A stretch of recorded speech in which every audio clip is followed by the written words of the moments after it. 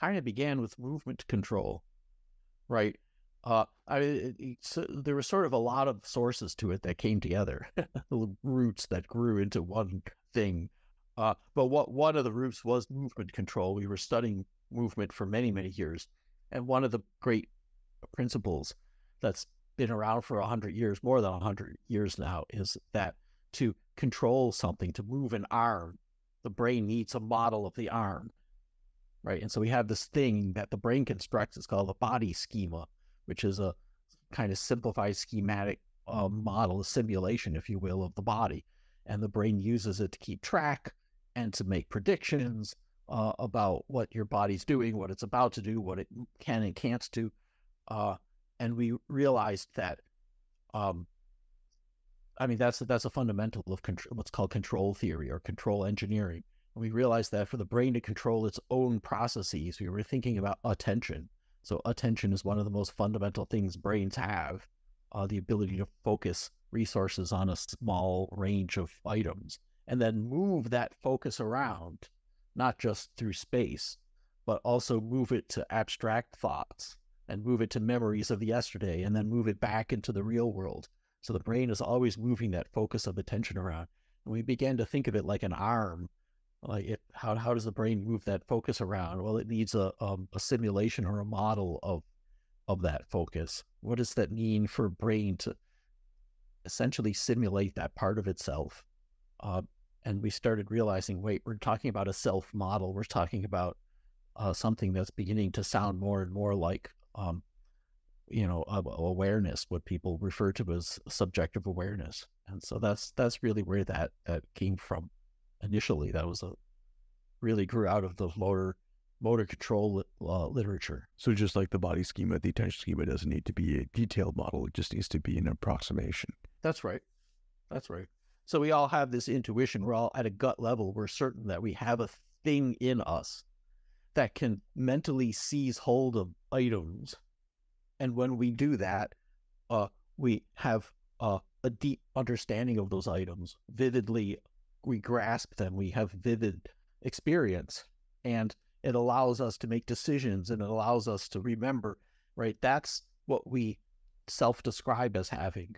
And that's a, essentially a very fuzzy high level schematic description of what attention actually is.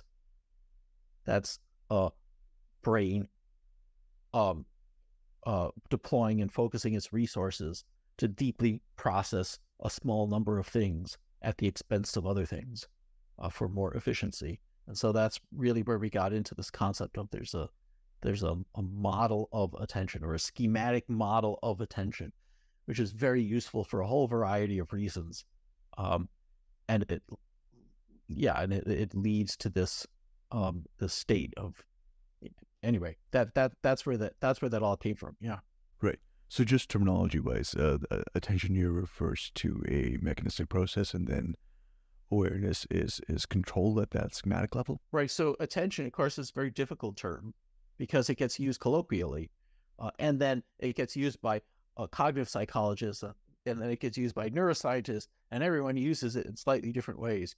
Uh, right. So it's very tricky. And by attention, what I really mean is uh, neurons in your brain process stuff, they process information. Uh, and neurons, by virtue of how they connect to each other, will enhance some signals passing through the system and inhibit other signals. And so when you look out at the world, for example, um, there's certain things that jump out to you and certain things that get suppressed into the background. And that's because your neurons are um, working together to enhance some signals so you process them deeply uh, so you can react to them, so you can remember them uh, for later, uh, or so that you can make um, intelligent decisions about them. And other things out there in the world are being suppressed. So that's attention. It's a really a neural mechanism. Uh, but of course, we as humans, we don't know about that. We don't, you know, unless you study it uh, in school, you don't go around saying, "Oh, my neurons are colluding to enhance this signal." Uh, instead, what we have is a kind of self simplified self model, and we say, "Oh, I uh, I have a mind that is right now aware of this and less aware of that." I'm experiencing this vividly, and I'm experiencing that only a little bit, and I uh, there's probably other things I'm not experiencing at all. Right? That's our story we tell ourselves, or at a, a gut level, the representation that we build to uh, understand that process of attention. And and cognitive psychologists understand attention differently. Uh, I I think probably if you look in psychology, the definitions tend to surround behavior. Like attention means you're faster to react to something. Um, attention means you're um, oh, in reacting to one thing over here, you react less to something over there, right? So there's like a behavioral definition. There's a neuroscience definition in terms of signals passing through neural networks. And then there's a colloquial definition, which usually means the thing in front of my eyes right now.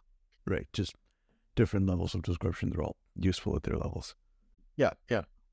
So then you're proposing a totally naturalist, mechanistic uh, account of consciousness that eliminates some of the mystery that's been associated around it. Yeah, I mean, what what I'm proposing is that we self-describe as being conscious. We build a, a representation of ourselves. I mean, everything everything we know about the world and ourselves, everything, no matter how basic and obvious and certain it is, all derives from information, bundles of information in the brain, right? And so what this says is the brain builds among other chunks of information. It builds a, a bundle that of information that represents this attention process, right? So what I'm saying is we we attribute consciousness to ourselves and we attribute it to other people because it's useful to do so. Right. So so that that's an important part of this, right? So the attribution of consciousness to others. Um, so this would tell us a lot about social cognition as well. That's right. So um, when I interact with you, uh, and you know, right now it's a very simplified environment, and we're just looking at each other, and that's it. But let's say we're in a more complicated world, and there's things going on, and other people, and and I'm interacting with you, and I need to predict your behavior, and to some extent, social interaction is all about prediction, behavioral prediction. Uh, how do I predict what you're about to do? How do I predict what I'm about to do? And how do I figure out the dance between those two and then decide what to do next? Right. So um, I need to know at some level what are the factors that drive your behavior. Uh, and it turns out, uh, maybe this is obvious, but the factor that most drives your behavior is what you're paying attention to. Because if you're not paying attention to the donuts, you're not going to reach for them. And if you're you're not paying attention to the I don't know the the bee flying at you, you're probably not going to duck. Uh, and if you are paying attention to this, then I know you might react to it or you might file it in your head for later. Um, but I could start to make predictions. Like that's the baseline that I need to know is what you're paying attention to, what attention means in terms of how it influences you, right? Uh, but the, the the truth is, again, I don't look at you I don't intuitively look at you and say, ah, his brain is taking in signals and his neurons are um, interacting. And no, what happens is I come up with a much simpler sketch. And in that simple sketch, I say, ah, he's aware of this. He's not aware of that. He's very aware of this, but he's only a little aware of that.